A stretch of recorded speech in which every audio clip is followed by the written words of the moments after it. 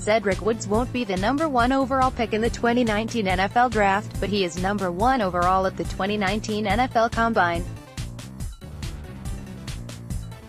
The Ole Miss defensive back posted the fastest 40-yard dash time of the Combine during drills on Monday. Woods, a former 247 Sports Composite three-star recruit, clocked in at 4.29 seconds.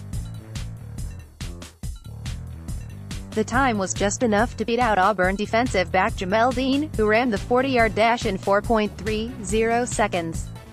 The remainder of the best 740 times belonged to wide receivers.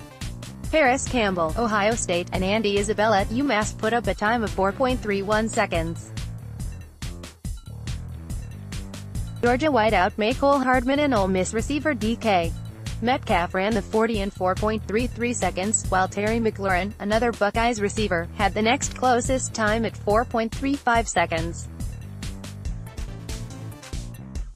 Question mark, question mark Zedrick, the Ole Miss FB safety was the king of the 40 at the 2019 Prior to the combine, NFL.com graded the Ole Miss safety with a grade of 4.90, which translates to a 50-50 chance to make NFL roster. Three-year starter with decent size but too far below the threshold with his athletic movements, instincts and recovery speed, the NFL.com overview on Woods says. Woods is a willing combatant when playing near the line of scrimmage, but he's simply not talented enough in coverage and lacking in instincts to play over the top.